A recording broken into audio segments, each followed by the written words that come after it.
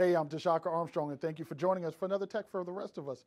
So you needed to get some productivity done, and you wanted to be mobile, so you bought an iPad Pro 12.9 inch.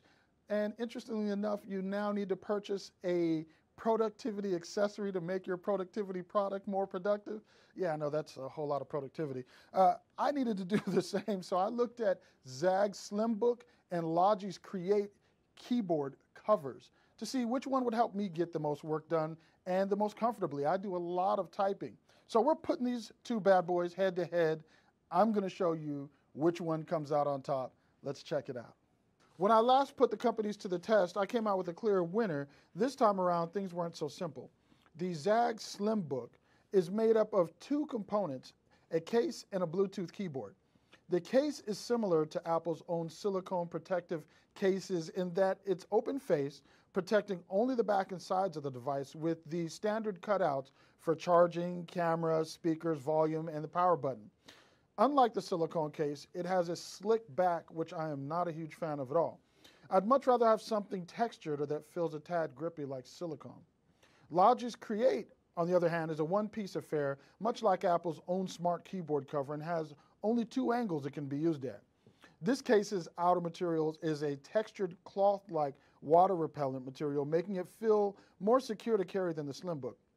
One of the best parts of carrying around the 12.9-inch iPad Pro is that despite its size, it's lighter than most laptops, making it a very portable way to get things done. Using the Slimbook and the Create, however, negate that. Putting the iPad Pro into the case, which then attaches to the keyboard half of the ZAGG Slimbook unit, adds a decent amount of weight to the Pro, which itself is over uh, one and a half pounds, but comes in at just under four pounds inside the Slimbook. Now, to be fair, the Create and iPad Pro together aren't that much lighter. You're looking at a device that doubles the iPad Pro's weight as well, so not light. With the Slimbook, you're going to get the usual complement of function keys for an iOS Bluetooth keyboard, but this one's also backlit and gives you seven colors to choose from at three different brightness levels. Logi's Create works with a smart connector and adds one feature to the function keys that ZAGG lacks, and that is the ability to control screen brightness. Now, this will seem novel, like a little thing, but ZAGG's hinge covers part of the bezel area of the iPad Pro, actually making accessing iOS Control Center a bit difficult. ZAGG's Slimbook feels wonderful to type on. They're known for their quality keyboards, and the Slimbook does not disappoint. Key spacing, pitch, and travel all feel very good for a mobile product.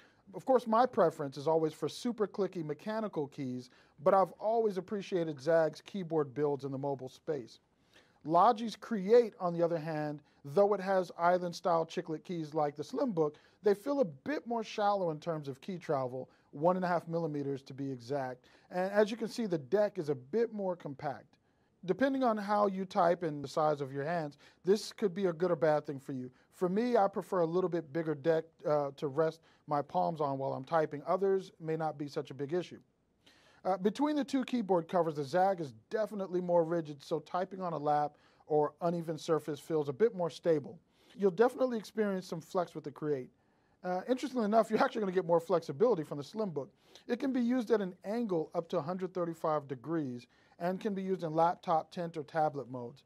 There's only one angle for the Create when it's attached to the Smart connector, though you can disconnect it from there and lay it almost flat so that you can use it with the Apple Pen for artwork or taking notes. One thing you won't have to concern yourself with all that much when it comes to the Create is power. Since it's powered through the smart connector, there's nothing to charge. The Slimbook, on the other hand, being a Bluetooth connected device, will require you to charge it. The frequency with which you'll have to charge is dependent upon how often you use the backlighting. Without the backlighting, ZAGG says you'll get two years between charges Additionally, since it's Bluetooth, you'll actually also get the ability to use the keyboard with three separate Bluetooth devices, which can all be programmed into the one, two, and three number keys on the keyboard.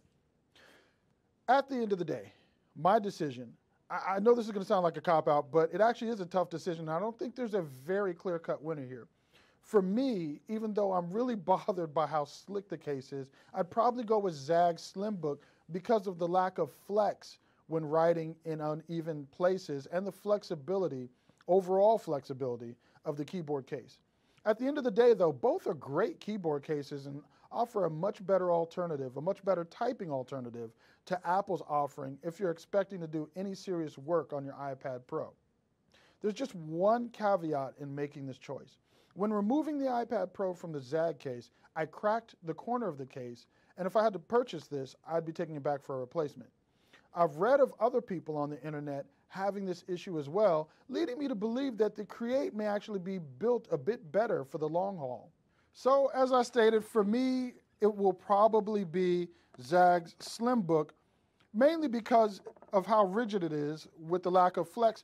But as I stated, again, got to be careful because when you're taking this thing out of the case, if you're going to take it out from time to time, has been known to crack, or there have been some cases where it's cracked. I can't say it's widespread, but I have seen the issue. So you're going to want to take that into consideration. If there are any questions I haven't answered, if there's anything I haven't answered in this video, go ahead and leave me a comment below and I'll get to it. As always, thank you for watching.